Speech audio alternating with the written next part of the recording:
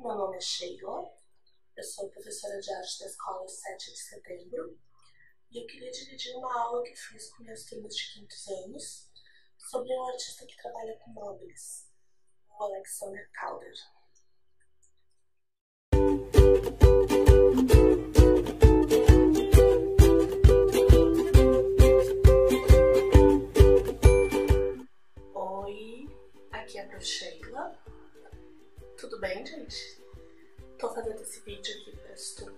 A e do quinto B para falar do artista que a gente está trabalhando nessas próximas duas semanas, que chama Alexander Calder. E a gente está trabalhando com ele porque a gente vai fazer um trabalho de móveis. Muito bem. Antes da gente começar a fazer o trabalho, eu sempre digo que é importante a gente buscar referências, né? Claro que quando a gente está em aula, a professora traz imagens, fala do artista. Como a gente está longe, é difícil às vezes por conta a gente pesquisar e ir atrás, mas a gente vai fazer o possível, certo? Eu vou falar um pouco do artista, falar um pouco dessa técnica que a gente vai fazer e depois a gente vai montar um móvel simples só pra gente aprender quais são as questões aí que a gente tem que cuidar pra gente fazer um trabalho bacana, certo? E, enfim, vamos começar. Bem, por que que móveis tem a ver com Alexander Calder? Porque ele foi um dos primeiros que trabalhou, que foi um dos primeiros artistas que trabalhou muito com essa técnica. Talvez você já tenha ouvido falar de móveis, já tenham visto algo parecido em decoração.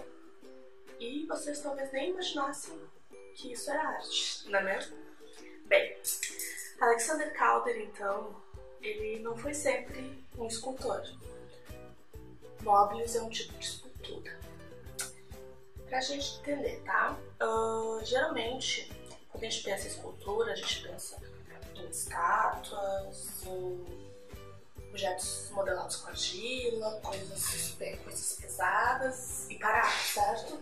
Eu tenho aqui uh, uma mini escultura que ela é feita de mármore, que é um tipo de pedra, tá? Mas claro que a gente tem esculturas muito gigantes, né, principalmente dos artistas que a gente estuda, mas só pra gente pensar qual é a diferença de uma escultura comum para um móvel, tá? Os dois são tridimensionais, ou seja, tem altura, tem largura. Para a gente poder ver uma escultura, é que no caso ela é pequena, né? Então a gente gira ela para a gente poder ver todos os lados, né? Ela, ela é fixa. Se ela fosse gigante, a gente teria que caminhar em volta dela para a gente poder ver todos os ângulos, enfim, todos os detalhes em sua volta. No caso do mobile, ele se movimenta com correntes de ar muito sutis, porque ele é muito leve e também tem toda a questão do equilíbrio, tá? Muito bem. Uh, os móveis entram dentro de um tipo de arte que a gente chama de cinética, que tem a ver com movimento.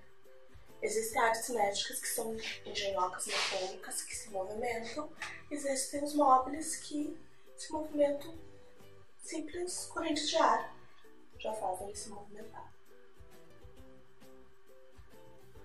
E isso cria todo um jogo de formas, de movimento. Outra coisa legal para a gente pensar do Calder é as formas que ele usa. A gente chama de abstrato. Por quê? São formas. não são bem geométricas, tem círculos, tem formas que a gente não consegue nomear. Aqui atrás eu fiz algumas formas, eu pesquisei o trabalho dele para ver esses, essas formas que ele usa. São meio triangulares, às vezes parecem gotas, às vezes parecem formas geométricas, são mais arredondadas.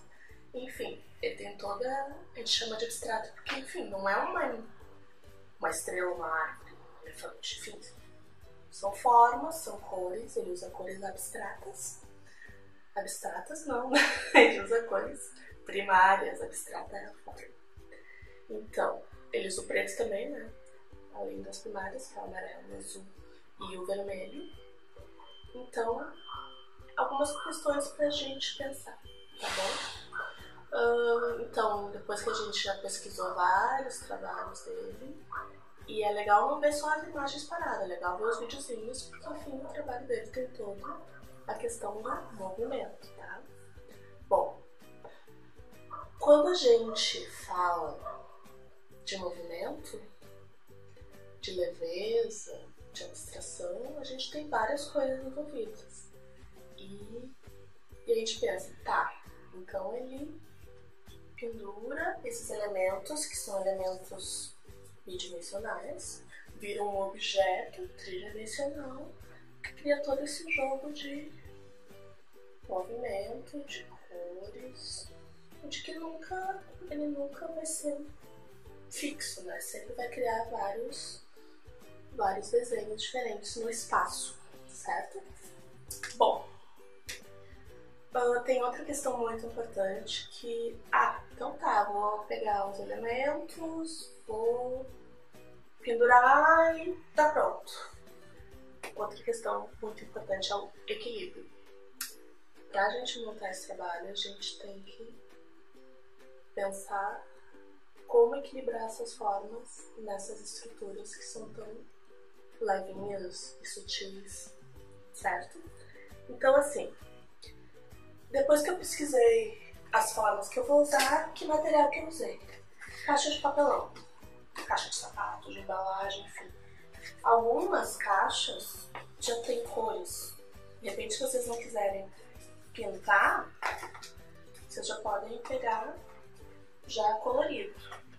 Eu pensei em usar EVA também, mas usar o EVA é muito levinho, ele se entorta. Eu queria que fossem pecinhas que ficassem bem, bem retinhas, sabe? Eu colori algumas peças, algumas partes do papelão. Claro que tem toda a questão que às vezes não vai ficar exatamente né, a cor, por isso que a gente pode. Tudo em arte a gente pode adaptar e pensar como fazer, né? Eu pintei com tinta, mas se vocês quiserem pintar com outro material, canetinha, giz, enfim. Ou tentar usar EVA, fazer uma experiência também é bacana. Depois que eu, cortei vários pedacinhos e desenhei as pecinhas que eu vou usar no meu móvel, certo? Recortei. E outra coisa que a gente tem que pensar é como esse, essa pecinha vai ficar pendurada. Vai ficar assim, vai ficar assim, vai ficar assim que maneira eu quero que ela fique no espaço, tá? Uh, eu usei um furador, mas vocês podem usar qualquer... O próprio palitinho, né, de churrasco de azar, ele tem uma pontinha. Então eu decidi que eu quero furar ele pra ficar pendurado por aqui, tá? Vou furar várias pecinhas.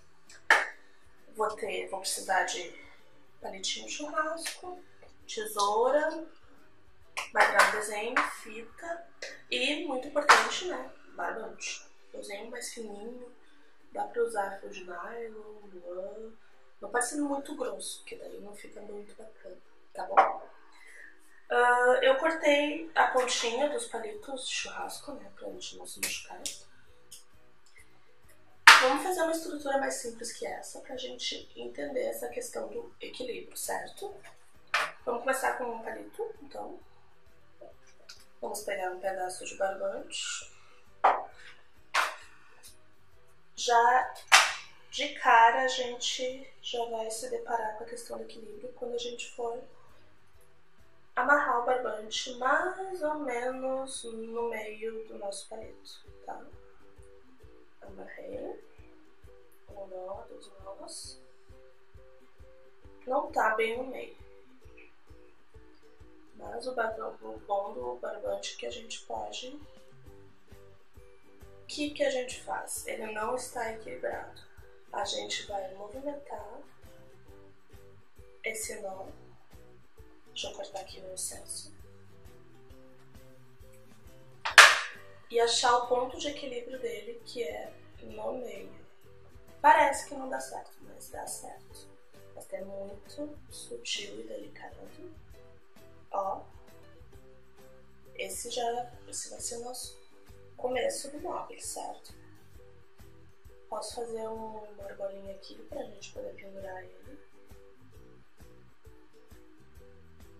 E começar a montar nossas partes. Vou tirar esse aqui por enquanto, pra gente usar essa estrutura, né? Pendurar aqui, pra gente começar a ver essas, se vai dar certo, se tá equilibrado, enfim. Ó.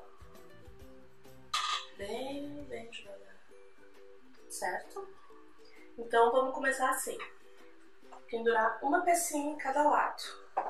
Mas como isso vai dar certo se as peças têm tamanhos diferentes? Bom, a gente vai fazer todo esse jogo de ficar movimentando para achar o ponto de equilíbrio, certo? Eu já furei uma amarela, vou furar uma vermelha agora.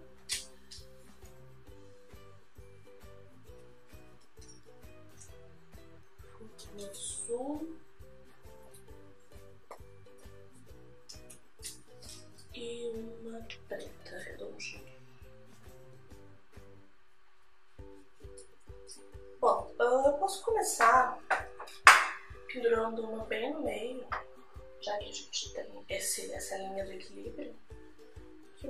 já um bom começo nosso nó.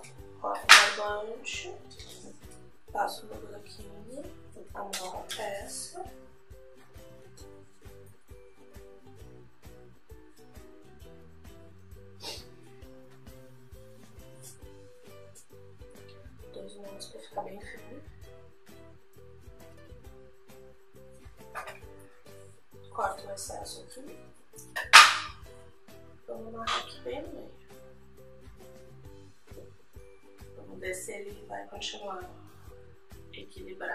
A gente vai ter que movimentar. De novo esse nozinho. Não aperta muito que se a gente tiver que movimentar. Tem que ter um favor. Corta esse excesso, porque também pode influenciar no peso. Vamos ver.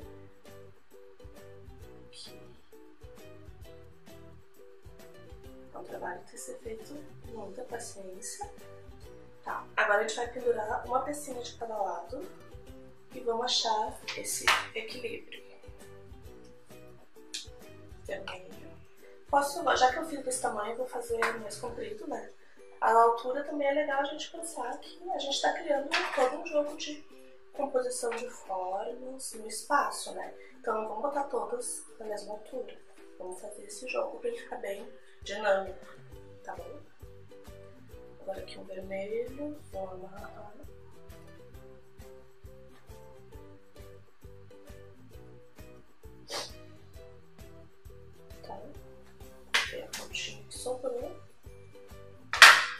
Quando eu amarrar desse lado, obviamente ele vai pender, ele vai cair todo o peso pra cá. Como quando a gente brinca de gangorra, né? Quando a gente tá brincando de gangorra, a gente tá brincando com equilíbrio, né? Quando tu senta de um lado, lá do outro, se uma pessoa faz o peso, tu levanta. Quando solta o peso, o peso da outra pessoa desce e o lado sobe. É a mesma coisa. Tá? O que, que vai acontecer? Vai despencar para um lado. Agora eu vou pegar mais ou menos o mesmo tamanho. Não precisa ser igual, mas. Fio. E vou pendurar do outro lado.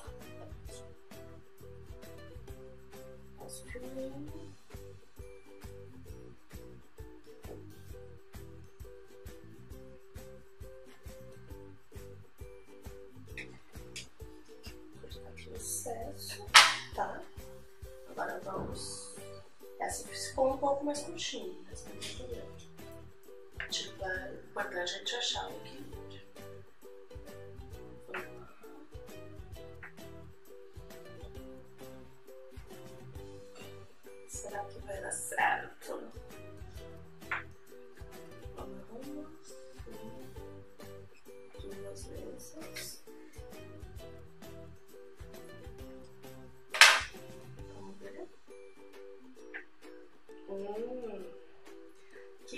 Mas o outro lado ainda tá pesado.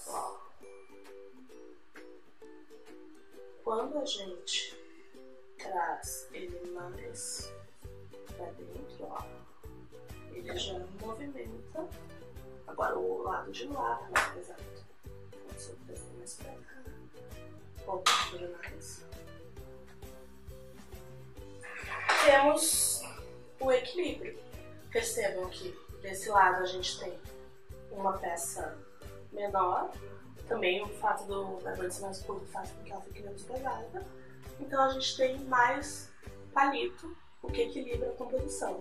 Aqui uma peça maior, um barbante mais comprido, a gente traz para cá e tem esse equilíbrio das formas. Então, assim, esse é só o começo para a gente começar a trabalhar. A gente pode fazer como eu fiz esse outro. Esse é mais complexo, né? Eu fiz um, um X e uma cruz. E em cada uma das pontas eu pinturei outro. Outro pauzinho, aqui tem mais dois.